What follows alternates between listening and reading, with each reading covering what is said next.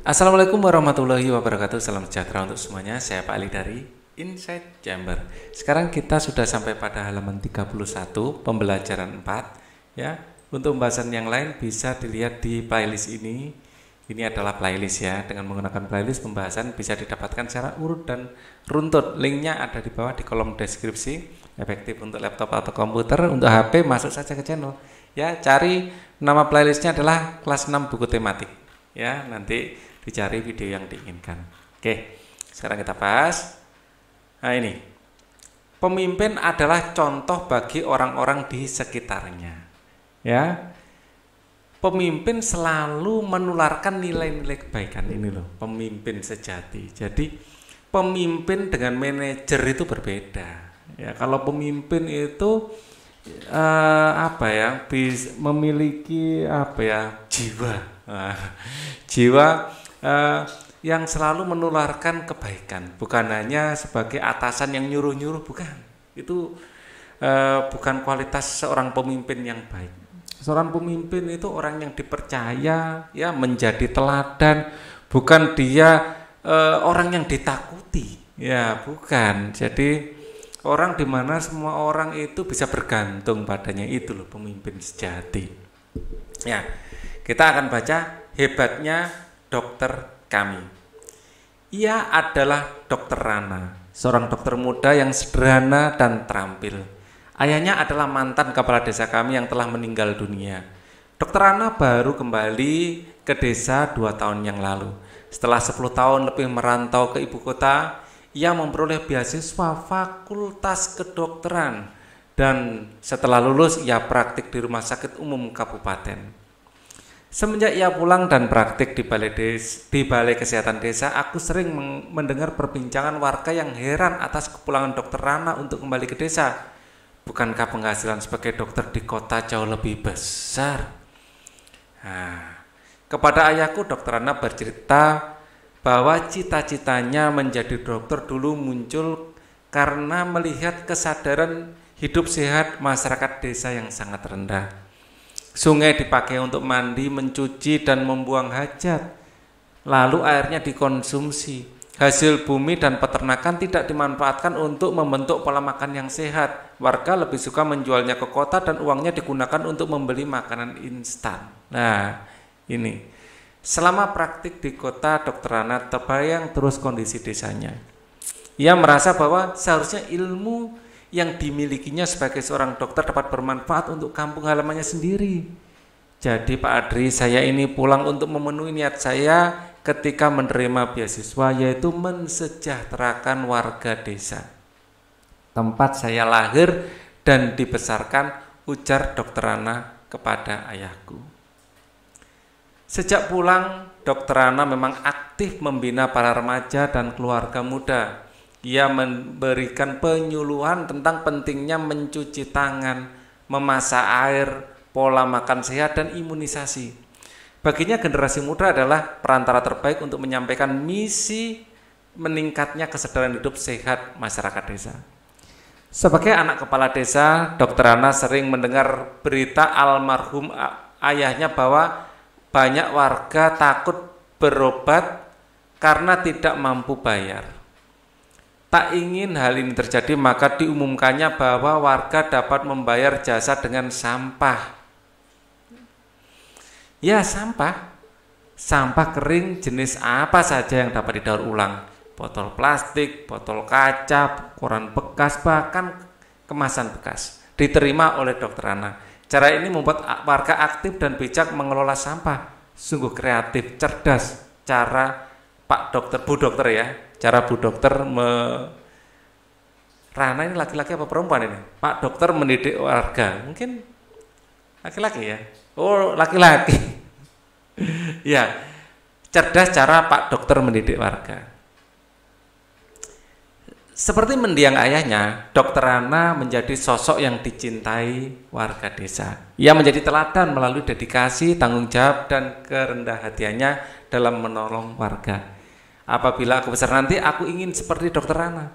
Akan ku kejar cita-citaku menjadi guru dan aku akan kembali membangun kampung halamanku. Ya, gambarnya ini laki-laki ya. Oke. Ya, inilah seorang pemimpin yang sejati. Seorang pemimpin sejati bukan kepala desanya itu sendiri saja, bukan. Tetapi orang yang mampu menginspirasi warga, ya, menggerakkan warga. Itu pemimpin sejati. Seorang dokter, guru, kepala sekolah atau pemimpin lainnya memiliki tempat yang berbeda saat bekerja namun kepemimpinan mereka sangat penting bagi orang-orang sekitarnya. Menurutmu apa yang terjadi apabila para pemimpin tersebut tidak memiliki nilai-nilai kepemimpinan yang baik? Apabila pemimpin tidak memiliki nilai-nilai ya kepemimpinan yang baik, maka nah, pemimpin tersebut tidak akan mendapat kepercayaan dari rakyat. Ya, pemimpin tersebut tidak akan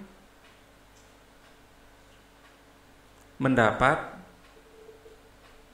kepercayaan dari rakyat yang dipimpin. Kepercayaan dari rakyat yang dipimpin. Sekali lagi pemimpin itu beda dengan manajer. Manajer karena diangkat, orang takut karena jabatannya, orang takut karena pangkatnya. Tapi pemimpin di sini yang dimaksud adalah orang yang memberi pengaruh. Bagaimana bisa memberi pengaruh apabila tidak punya nilai-nilai kepemimpinan, yaitu nilai-nilai yang baik ya, yang bisa menggerakkan orang untuk melakukan hal-hal yang baik. Ya, pemimpin tersebut tidak akan dapat mendapat kepercayaan dari rakyat yang dipimpinnya ya dan nilai-nilai itu juga termasuk kemampuan berkomunikasi ya. ya pemimpin misalnya dapat kepercayaan pun kalau dia tidak memiliki nilai-nilai kepemimpinan yang baik ya dia akan kesulitan untuk menjalankan programnya ya jadi harus memang orangnya baik dan ada keterampilan-keterampilan ya, keterampilan untuk berkomunikasi ya, kemampil keterampilan untuk eh, apa ya? memilih kata-kata yang baik yang menginspirasi ya. Nah, itu. Nomor dua, kepada siapa saja pemimpin tersebut bertanggung jawab. Yang pertama jelas kepada Tuhan. Ya, kepada Tuhan. Tuhan yang Maha Esa. Kemudian kepada rakyat yang dipimpinnya, kepada rakyat yang dipimpinnya, dipimpinnya. Kepada siapa saja pemimpin tersebut bertanggung jawab apa yang perlu disyukuri oleh seorang pemimpinnya, rakyat yang dipimpinnya. Ya, ya di sini dan ya. Dia harus bertanggung jawab kepada Tuhan Yang Maha Esa dan kepada rakyat yang dipimpinnya. Apa yang perlu disyukuri oleh seorang pemimpin? Yang perlu disyukuri seorang pemimpin adalah uh, dia memiliki kemampuan ya. Dia yang perlu disyukuri adalah anugerah berupa uh, apa ya? kemampuan untuk memimpin ya. Dan sifat-sifat kepemimpinan yang dimiliki ya. Pemimpin ya. Perlu mensyukuri mensyukuri ya nilai-nilai kepemimpinan yang dimiliki, sikap-sikap ya, karakter kepemimpinan yang dimiliki, mensyukuri sifat-sifat kepemimpinan yang dimiliki yang tidak akan terlepas dari guru ya yang mengajari atau inspiratornya ya yang dimiliki terus kemudian rasa percaya diri. Dan kemampuan komunikasi. Ya kemampuan komunikasi yang dimilikinya. Ya pemimpin perlu mensyukuri sifat-sifat kepemimpinan yang dimiliki rasa percaya diri yang dimiliki dan kemampuan komunikasi. Ya itu adalah sifat-sifat uh, yang harus dimiliki oleh seorang pemimpin ya pekerjaan dokter anak adalah pengabdian bagi kemanusiaan banyak orang merasa senang dengan adanya dokter anak Kita pun seharusnya menerapkan nilai-nilai kemanusiaan dalam kehidupan sehari-hari misalnya dengan memberi pertolongan semampu kita. Ya. Berikut adalah nilai-nilai yang terkandung dalam sila kedua Pancasila yaitu kemanusiaan yang adil dan beradab. Mengakui dan memperlakukan manusia sesuai dengan harkat dan martabat sebagai makhluk Tuhan. Wah, ini juga e, memperlakukan manusia sesuai, sesuai dengan harkat dan martabat ini adalah kualitas yang harus dimiliki pemimpin juga. Mengakui persamaan derajat, persamaan hak dan kewajiban. Wah ini juga karakter yang harus dimiliki pemimpin. Ya, mengembangkan sikap saling mencintai sesama manusia, mengembangkan sikap saling tenggang rasa dan tepo seliro. Wah, ini cocok ya kemanusiaan yang adil dan beradab, beradab ini dengan rasa tepo seliro. Ya, mengembangkan sikap tidak semena-mena terhadap orang lain, tidak adigang, adigung, adiguno, orang Jawa bilang gitu. Menjunjung tinggi nilai kemanusiaan, gemar melakukan kegiatan kemanusiaan, berani membela kebenaran dan keadilan dan mengembangkan sikap saling menghormati dan bekerja sama dengan bangsa lain. Ini ada dalam butir-butir Pancasila. Ya, sila kedua. Ya, kemanusiaan yang adil dan beradab. Berikan contoh penerapan nilai-nilai kemanusiaan dalam kehidupan sehari-hari. Satu, misalnya mengunjungi teman yang sakit, teman yang sakit, memberi santunan pada anak yatim, santunan pada anak yatim, misalnya membantu korban bencana alam, korban bencana alam bersikap adil dan lain-lain masih banyak lagi ya. Dua, apa pendapatmu mengenai pelaksanaan nilai-nilai kemanusiaan di lingkungan sekitarmu? Ya, di lingkungan sekitar Pak Ali ya, yang Pak Ali contohkan ya. Eh, ini contohnya atau apa ya? Apa pendapatmu mengenai pelaksanaan? Ya, pelaksanaan nilai-nilai kemanusiaan. Pelaksanaan nilai-nilai kemanusiaan di kampungku cukup baik, baiklah ya. Pelaksanaan nilai nilai kemanusiaan di tempatku baik ya. Uh, banyak program-program misalnya saat ada warga yang sakit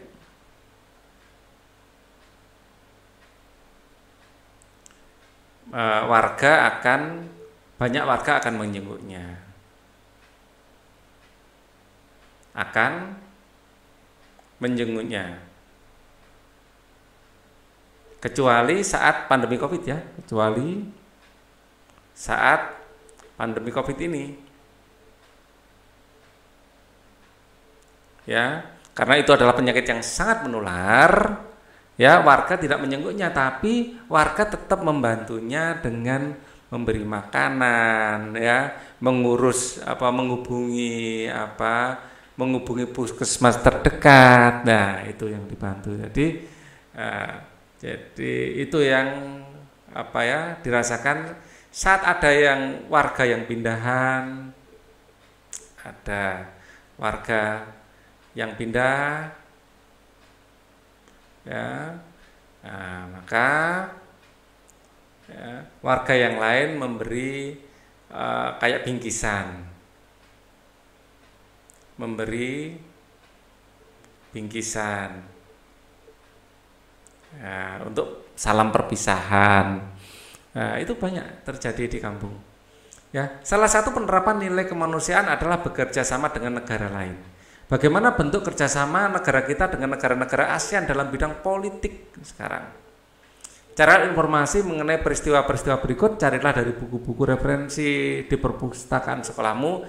Dari informasi yang kamu kumpulkan, buatlah laporan mengenai peran Indonesia dalam bidang politik di ASEAN. Ya, KTT ASEAN di Bali, keterangan. Nah ini Pak Ali sempat bikin catatan. Ya, KTT ASEAN di Bali 23 sampai 24 Februari 1976 ini saya kasih nomor satu gitu ya. Ini catatan-catatan yang berhasil dikumpulkan ya. Nah di sini peran Indonesia ini sebagai tempat diadakannya KTT ya, sebagai jelas di Bali ya tempat dilaksanakan KTT dilaksanakannya KTT ya. Kemudian eh, eh, eh, keterangannya ya. Peran Indonesia sebagai tempat dilaksanakan KTT terus wah, tempatnya nggak cukup ya. Makanya di sini ya akan saya lanjutkan di sini. Saya kasih nomor itu maksudnya biar saya bisa lanjutkan. Ya. Ke, eh, hasilnya hasil dan perannya ya. Jadi peran Indonesia ini pembentukan sekretariat ASEAN yang berkedudukan di Jakarta. Nah, ini peran Indonesia. Pembentukan jadi sebagai tempat sekretariat ya. Pembentukan sekretariat ya ASEAN yang berkedudukan di Jakarta. Ya, yang berkedudukan di Jakarta. Ya, oke. Kemudian ah, Indonesia terpilih menjadi sekretaris jenderal ASEAN. Indonesia terpilih menjadi sekretaris jenderal ASEAN. Ya, oke. Okay. Oh ya, sebagai keterangan, ini ada keterangan. Ini keterangannya adalah ini KTT yang pertama ya. KTT itu konferensi tingkat tinggi, ya singkatan dari KTT. KTT ini adalah konferensi tingkat tinggi konferensi tingkat tinggi. Konferensi tingkat tinggi. Ya. Dan yang ada di Bali ini ini adalah konferensi yang pertama. Ya konferensi pertama. Ini juga masuk keterangan ya. Konferensi yang pertama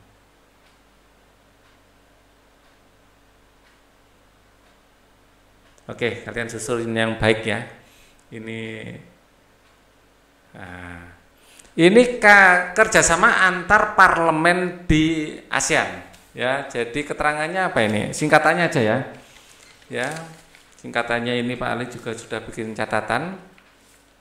Ya, ini keterangannya saya taruh di sini aja ya, biar hemat tempat. Ya, ASEAN Interparliamentary atau AIPO, ASEAN inter parlemen. Parlemen. Parlemen parlemen parlemen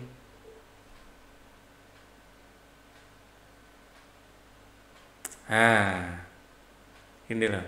Parliamentary AIPO ya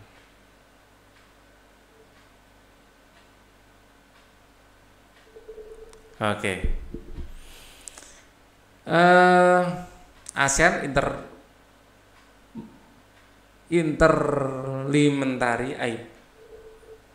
Oh, nya harusnya ada ya, organization mungkin. Lupa Pak Ali. Intinya singkatannya AIPO adalah badan yang didirikan, ya keterangannya ya, adalah badan yang didirikan Ya, coba cek ya singkatannya apa nanti. Badan yang didirikan untuk meningkatkan kerjasama, meningkatkan kerjasama, ya, antar parlemen negara-negara ASEAN. Ya. Parlemen ya, negara-negara ASEAN.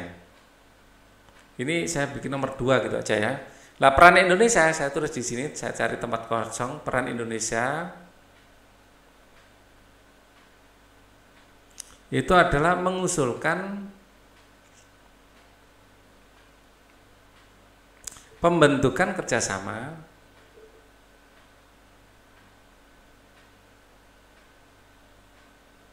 antar parlemen Ini pada tahun 1974. Wow, dulu sekali ini ya. Indonesia bersama Thailand, Filipina, Singapura dan Malaysia. Nah, bersama Thailand, Filipina,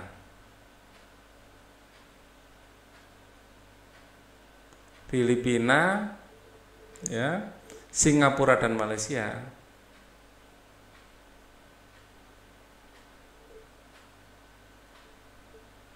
ya resmi mendirikan kerjasama antar parlemen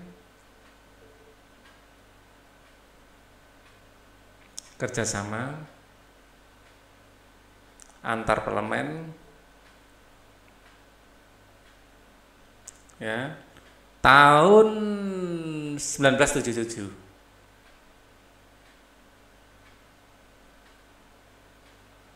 Ya, 19 1977. Sekarang pertemuan ke-44 Menteri Luar Negeri. Saya pakai warna hijau. Ya. Pertemuan ke-44 Menteri Luar Negeri 9 Juli 2011. Oh, ini baru kali ini ya. Ya. Keterangan pertemuan para menteri luar negeri para Menteri Luar Negeri ya ASEAN negara-negara anggota ASEAN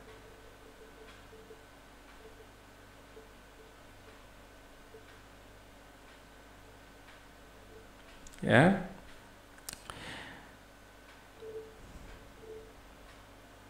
Yang dinamakan dengan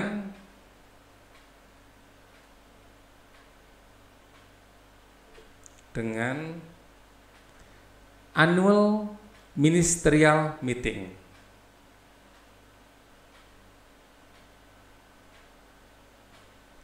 Meeting. Nah, ini keterangannya ya. Terus peran Indonesia. Peran Indonesia ini adalah sebagai tempat dilaksanakannya pertemuan ya. Sebagai tempat dilaksanakannya peran Indonesia adalah sebagai tempat dilaksanakannya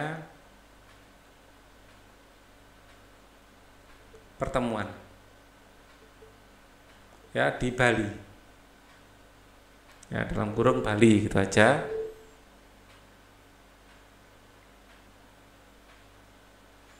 Kemudian Wah, di sini di situ memang membahas banyak hal ya.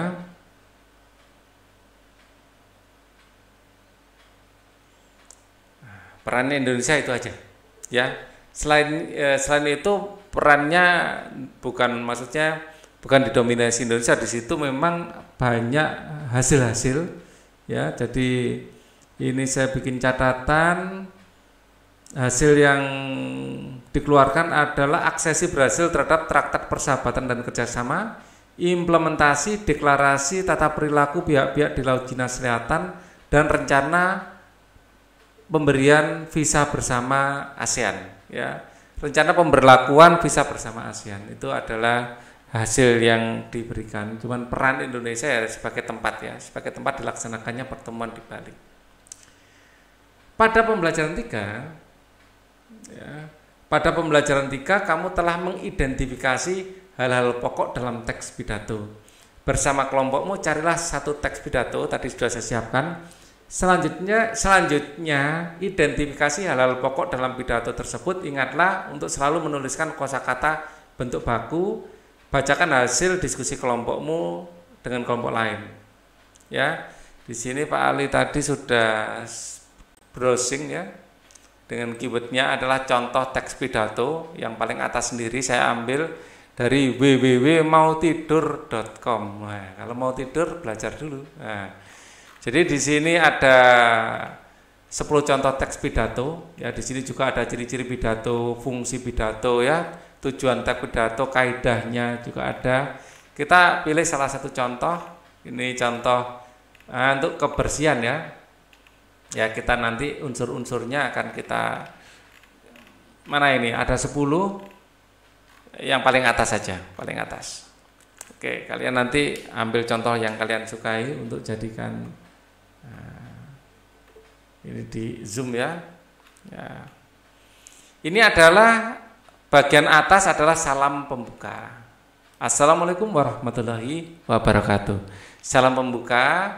Nah, ini salam pembuka. Kalau ini pembukaan, marilah kita panjatkan terlebih dahulu puji serta syukur kehadirat Tuhan yang Maha Kuasa karena berkatnya kita dapat berkumpul di sini di pagi yang sangat cerah ini. Akhirnya kita semua berkumpul bersama dalam keadaan sehat pada kesempatan ini izinkan saya menyampaikan terkait dengan kebersihan lingkungan. Ini adalah pembukaan. Jadi yang atas ini adalah salam pembuka, ini pembukaan. Pada kesempatan kali ini izinkan saya untuk menyampaikan beberapa hal penting terkait kebersihan lingkungan. Ada pepatah yang mungkin telah kita tidak tidak asing lagi di telinga kita yaitu kebersihan adalah sebagian dari iman. Kebersihan di suatu tempat dapat mencerminkan sikap perilaku para penghuninya. Nah, ini adalah tujuan berpidato. Ya, tujuan berpidato. Oke. Kemudian eh, ini mulai masuk isi. Ya, menjaga kebersihan merupakan hal yang sangat penting. Jika kebersihan lingkungan tidak dijaga dengan baik, maka dampak buruk akan segera datang Tempat kotor secara otomatis akan mengundang wabah penyakit. Hal tersebut tentu merupakan hal yang tidak kita, kita inginkan. Selain itu, sikap kita akan dicontoh oleh anak cucu kita ke depannya. Ya, untuk bernapas dulu. Terus dimulai hadirin yang saya hormati. Nah, ini mau akhir ya. Saya berpesan ya, di sini adalah ending ya, atau akhir sampai mana tadi? Hadirin yang saya hormati, ini adalah penutup. Ya, ini apa kesimpulan? Kesimpulan, kesimpulan ya. Kesimpulan baru bawahnya penutup atau ringkasan. Saya berpesan agar semuanya memiliki kesadaran tinggi akan pentingnya kebersihan. Coba bayangkan bagaimana jadinya kita tidak menjaga kebersihan dengan baik, maka wabah penyakit akan tersebar ke mana-mana. Perlu kita ketahui bahwa sehat itu merupakan hal yang mahal. Terus kemudian ini adalah penutup tidak banyak yang bisa saya sampaikan pada pertemuan kali ini karena keterbatasan waktu yang singkat ini saya hanyalah manusia yang tidak sempurna serta tidak luput dari berbagai salah. Sehingga saya minta maaf pada semuanya. Kesalahan pasti berasal dari saya, kelebihan adalah kebaikan hati Tuhan. Cukup sekian yang dapat saya sampaikan hari ini. Nah, kemudian terakhir salam penutup. Waalaikumsalam warahmatullahi wabarakatuh. Ya. Sekarang kita kembali ke sini lagi pengetahuan apa yang aku pelajari hari ini adalah ya sikap seorang pemimpin ya, sikap seorang pemimpin. Kita juga telah belajar tentang ASEAN ya, terutama KTT-nya tadi ya, kita juga belajar tentang pidato. Ya. Oke. Keterampilan apa yang aku latih hari ini jelas mengamati pidato dan menentukan bagian-bagiannya. Sikap apa yang aku kembangkan hari ini? Ya, kita e, mengembangkan sikap ya, karakter seorang pemimpin. Kita kembangkan ya sikap ya atau jangan kita ya, aku akan kembangkan ya sikap para pemimpin itulah jalan sikap dan karakter seorang pemimpin. Pemimpin itu memang harus berjalan di depan, harus menemui banyak kesulitan. Seorang pemimpin itu melindungi, mengayomi, seperti itu pemimpinnya. apa yang dapat aku berikan kepada lingkungan dengan pengetahuan dan keterampilan dan sikapku ya yang bisa kita berharapkan adalah kita memberikan kita eh, berikan kebaikan kita ya. Kita berikan kebaikan kita. Kita bersikap adil ya. Intinya kebaikan-kebaikan yang dimiliki pemimpin, pemimpin ya. Bersikap adil. Maaf ini nulis kadang-kadang nggak keluar ya, ya. dan lain-lain intinya sikap-sikap baik lah ya. Niat baik kita paling tidak kita berniat dulu untuk berbuat baik ya Nah, baru kemudian berusaha mewujudkannya. Bersama orang tuamu, identifikasilah penerapan nilai-nilai kemanusiaan yang dapat kamu temukan di lingkungan keluarga. Tuliskan dalam bentuk tabel berikut ini. Penerapan nilai-nilai kemanusiaan. Ya, yang pertama adalah hormat kepada orang tua, kepada orang tua mematuhi nasihat orang tua.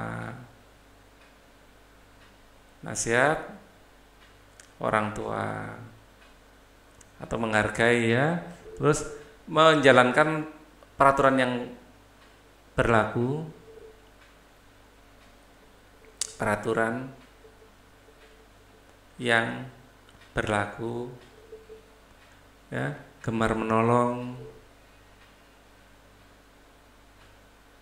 Ya berani berbuat benar ya termasuk adil bersikap adil.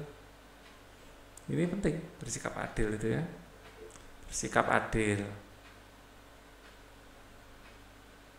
Jadi kalau membagi sesuatu ya adil itu termasuk ini ya. Eh, kalian adil pada diri kalian sendiri juga ya adil itu eh, kepada diri sendiri contohnya memberi kesempatan tubuh kita untuk beristirahat.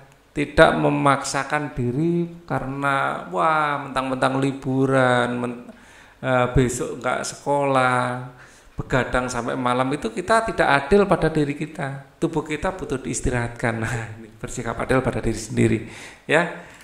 Nah oke. okay. Nanti kita akan lanjutkan di pembelajaran 5 setelah ini ya thank you for watching Wassalamualaikum warahmatullahi wabarakatuh.